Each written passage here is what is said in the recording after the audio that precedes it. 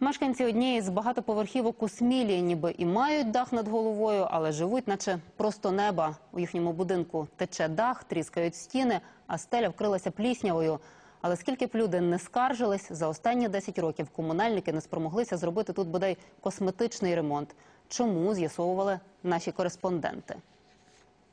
Дощ заливає тут, тут коротше, під дощем і такий грибок.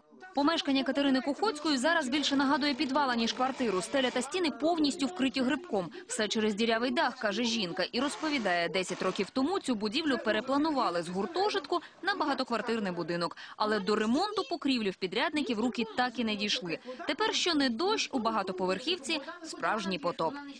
У квартирі запах цвілі, таке некомфортне, воно ж дихає цією гадостю, розумієте? Хлопчик оце цілу е, весну, літо він без кінця кашель і кашель і кашель.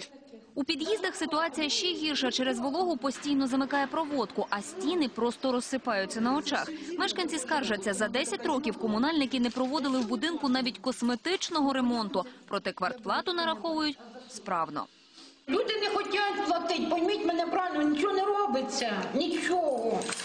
А ось ЖЕК, на балансі якого ця багатоповерхівка. У його приміщенні йде капітальний ремонт. Підлога вистелена плиткою, скрізь склопакети. Головний бухгалтер організації пояснює, дім не ремонтують, бо мешканці завинили комунальникам майже 30 тисяч гривень. Але, побачивши камеру, жінка одразу замовкає.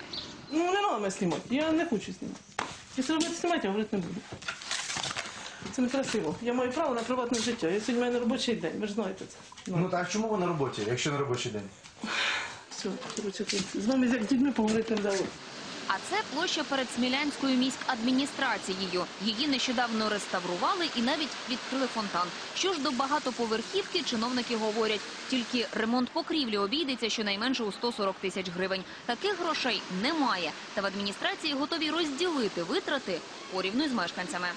Зараз те, що я можу гарантувати, це 70 тисяч, які виділені. Вони будуть освоєні в цьому році. Що стосується поточного ремонту, тут залежить теж від мешканців.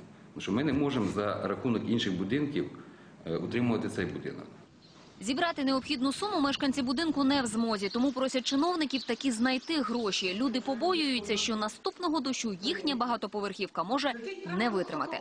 Олена Центила, Станіслав Кухарчук, Павло Тимошенко. Новини телеканал Інтер. Черкаська область.